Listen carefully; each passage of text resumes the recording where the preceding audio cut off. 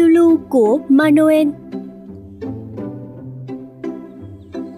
Ngày xưa ngày xưa, ở một ngôi làng nọ, có hai vợ chồng nghèo lấy nhau đã lâu mà chưa có con.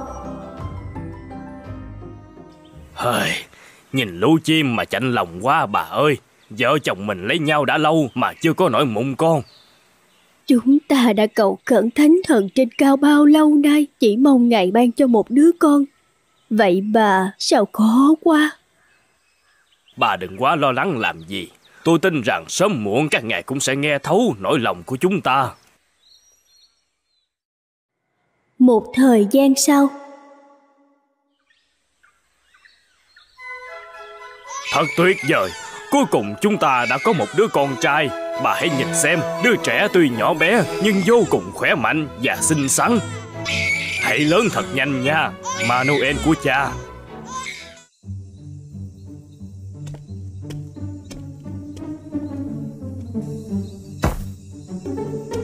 À. Uhm, cái máng nước chết tiệt này Dám cản đường ta hả Đừng có mơ Không gì có thể ngăn bước mình tiến tới Ai Ôi không Số ta đúng là may mắn quá mà Đang khát khô cổ thì gặp ngay máng nước ngon lành. Lũ ngựa giờ chắc ngủ hết cả rồi. Ta phải tới đó uống cho đã đời mới được. À, Thiệt là đã khát quá đi. Mình phải uống hết chậu nước này mới được. Ai Con sói quái quỷ. À chà Hình như mình uống hơi quá thì phải. No căng cả bụng rồi. Giờ đi kiếm chỗ ngã lưng thôi. Hôm nay quả là một ngày may mắn với chúng ta Tình cờ thế nào lại nhớ được lũ nhà buôn giàu có đi qua cánh rừng này? Ngày nào cũng được như vậy thì chẳng mấy chốc băng cướp chúng ta sẽ vào sụ cho mà xem. Trời trời trời ơi Là là là chó sói. Bật cao nữa lên nào.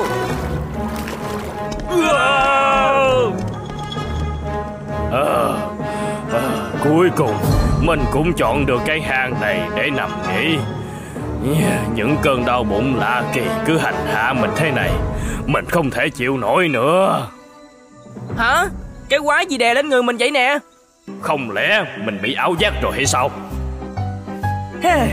Dễ thở hơn rồi đó. Mình lại tiếp tục nhảy thôi. Trời đất ơi Tiếng nói phát ra từ trong bụng mình. Không lẽ ở trời đất ơi, Ai đó, Sao lại ở trong bụng tôi vậy? Mau dừng lại đi, Đừng nhảy trong bụng tôi nữa mà. Tôi đau muốn chết mất thôi. Ai mượn? Ngươi nuốt ta vào bụng làm gì? Đã vậy, Ta sẽ ở lại trong này Rồi nhảy cho sướng đời thì thôi. Trời ơi, tôi nào có biết mình lỡ nuốt phải cậu khi nào đâu. Tôi xin cậu, hãy mở rộng lòng, tha lỗi cho tôi. Chứ cứ nhảy tưng tưng trong bụng tôi như vậy Quả thiệt tôi chịu hết nổi rồi. Thôi được rồi, hãy mau há mỏng ra để ta nhảy ra ngoài.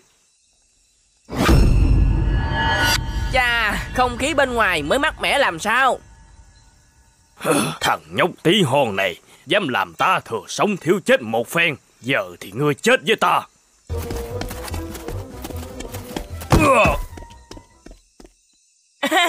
Tuyệt vời Con sói ngu ngốc trúng cái mình Nên đập đầu vào đá ngất xỉu rồi. Thế nào rồi? Ông đã tìm thấy thằng bé chưa? Tôi đã đi khắp xung quanh đây Hỏi hàng xóm Nhưng không một ai nhìn thấy thằng bé đâu hết. Cha mẹ ơi Giúp con một tay với. Trời ơi ơn trời Thằng bé đã trở về Cái túi gì đây hả Manuel? Có một con sói đã mò vào giường nhà chúng ta Và uống nước trong máng. Tình cờ nuốt luôn cả con vào bụng. Ôi trời ơi, hẳn là con đã vô cùng hoảng sợ khi rơi vào hoàn cảnh đó. Thế làm sao mà con thoát ra được khỏi đó vậy? Con chẳng sợ hãi chút nào mẹ ơi. Con còn nhảy nhót trong bụng nó một hồi Khiến nó khó chịu không nổi. Phải gian xin con dừng lại. Vậy nhưng khi con vừa nhảy ra ngoài Nó liền dồ tới định ăn thịt. May mà con nhanh chân chạy kịp Con thật dũng cảm làm sao Manuel ạ à? Nếu mẹ mà gặp phải con sói bên ngoài Chắc mẹ đã ngất xỉu ra đó rồi. Con vẫn chưa trả lời cha Cái túi này ở đâu ra? Con còn chưa kể hết mà. Sau đó con sói đó đã bị con lừa cho hút đầu vào đá Rồi ngã lăn quay ra ngất xỉu. Cái túi này con lấy trong hang đá Bên trong toàn là tiền vàng đó mẹ. Vậy, Vậy hả? Dạ, nó là của mấy tên cướp trốn trong hang. Thấy con sói xuất hiện, bọn cướp sợ chạy té khói. Bỏ lại cả một đống những túi tiền vàng. Còn đã nhặt một ít mang về cho cha mẹ đó. Mình xem con trai của chúng ta không những dũng cảm lại còn hiếu thảo với cha mẹ. Sau này chắc chắn sẽ trở thành trụ cột của gia đình cho mà xem. Con trai ta đã lớn thật rồi Nhưng lần sau trước khi đi chơi đâu Con phải xin phép cha mẹ nghe chưa Dạ con hứa sẽ không bao giờ tự ý ra ngoài Khi chưa có sự đồng ý của cha mẹ. Với số vàng mà Manuel mang về, Gia đình cậu bé đã dùng để trang trải trong cuộc sống hàng ngày. Nhờ vậy, gia đình cậu ngày một sung túc, khấm khá hơn.